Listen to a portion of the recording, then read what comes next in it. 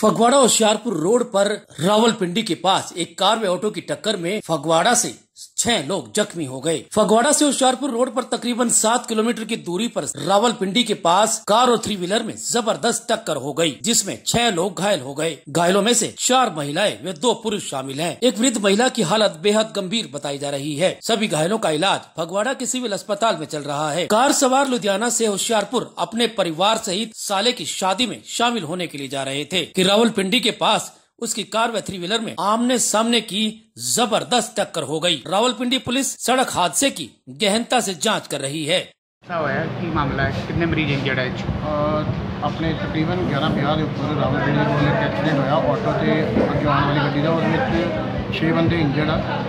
ਅਹ ਇੱਕ ਜਿਹੜਾ ਪਿਆਰੀ ਨਾਮ ਦਾ ਪੇਸ਼ੈਂਟ ਹੈ ਲੇਡੀ ਉਹਦੇ ਕਾਫੀ ਸੱਟਾਂ ਲੱਗੀਆਂ ਉਹਨੇ ਦੋਨੇ ਲੱਤਾਂ